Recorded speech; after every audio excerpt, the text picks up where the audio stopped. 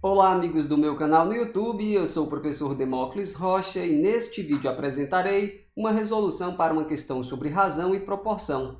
Se você apoia esta iniciativa, deixe o seu like. Se quiser ficar sabendo sempre que a gente lançar um novo vídeo por aqui, inscreva-se no canal e acione o sininho das notificações. Vamos lá! Uma pessoa guardou em um vidro somente moedas de um real e de 50 centavos. Certo dia, ao contabilizar essas moedas, constatou que havia no total 84 moedas e que a razão do número de moedas de um real para o número de moedas de 50 centavos era de 5 para 7. As moedas de 50 centavos juntas totalizavam o valor de Aí você tem os itens. Vamos partir agora para a resolução.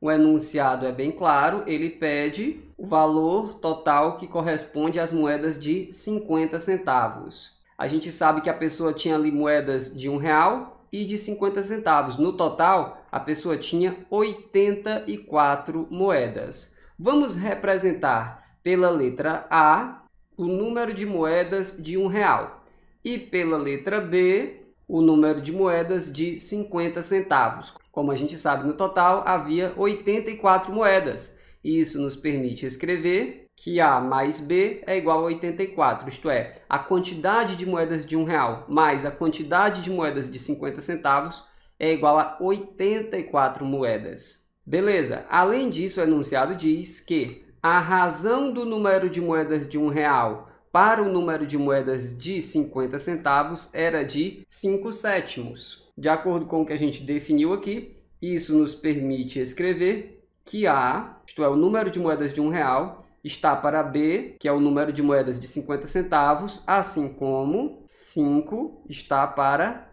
7. Com base nessas duas informações aqui, a gente pode determinar sem muita dificuldade a quantidade B de moedas de 50 centavos. Uma vez que a gente conheça a quantidade de moedas de 50 centavos, a gente pode, é claro, determinar o valor total que corresponde a elas.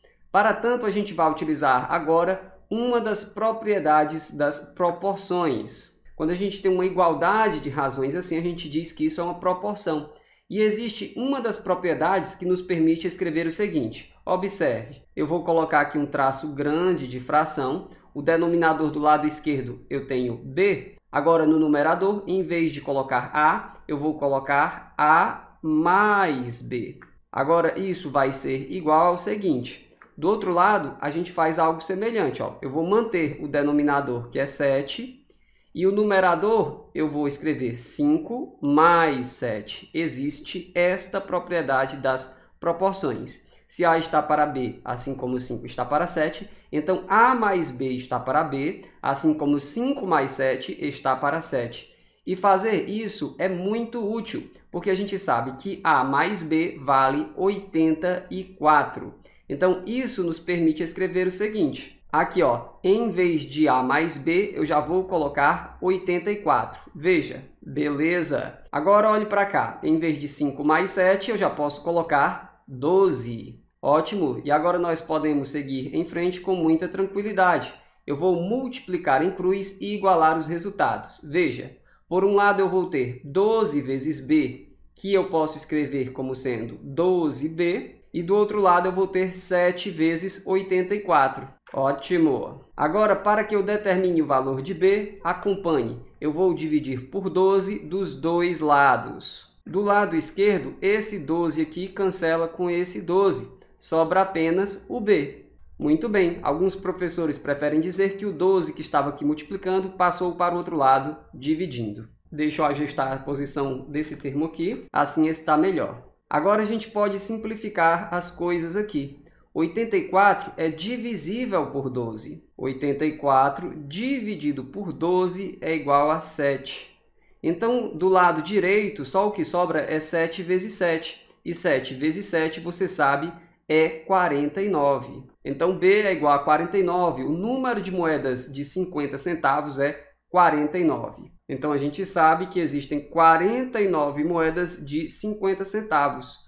Multiplicando 49 vezes 0,50, a gente encontra 24,50. Multiplicar por 0,50, que é o mesmo que multiplicar por 0,5, é muito fácil. Basta pegar a metade do número. Quando a gente multiplica um número por 0,50, a gente está pegando a metade do número. A metade de 40 é 20, a metade de 9 é 4,5. Então dá 24,5. Isto é, o total correspondente às moedas de 25 centavos é de R$ 24,50. O item correto é o item E de elefante. Deixa eu ajustar isso aqui. Pronto, assim está bem melhor. Hora da revisão. A gente sabe que a pessoa tinha ali 84 moedas, algumas moedas de um real e outras moedas de 50 centavos. A gente indicou pela letra A o número de moedas de um real e pela letra B o número de moedas de 50 centavos. Como o total de moedas era 84 moedas, então A mais B é igual a 84. Além disso, foi dito que a razão do número de moedas de um real para o número de moedas de 50 centavos era 5 para 7. Falou em razão, isso corresponde a uma fração. Então, A está para B, assim como 5 está para 7. Aí a gente utilizou uma propriedade das proporções. Se A está para B, assim como 5 está para 7, então A mais B está para B, assim como 5 mais 7 está para 7. 5 mais 7 é 12, a gente escreveu aqui, e A mais B, a gente sabe, é 84. Se você precisar, volte o vídeo para acompanhar esse detalhe mais uma vez. A partir daqui, a gente multiplicou em cruz e igualou os resultados, fez algumas simplificações e encontrou o B. B é o número de moedas de 50 centavos havia 49 moedas de 50 centavos. Para saber o valor total correspondente a todas elas, a gente multiplicou 49 vezes 0,50. Mas multiplicar por 0,50, que é o mesmo que multiplicar por 0,5, é só pegar a metade do valor. A metade de 49 é 24,5. Isto é, o total correspondente às moedas de 50 centavos era de R$ 24,50. Item correto, item E de elefante. Esse vídeo foi feito para te ajudar. Se ele ajudou, deixe um comentário com uma carinha sorrindo. Eu vou gostar de ver. A gente fica por aqui. Um abraço e até a próxima. Tchau!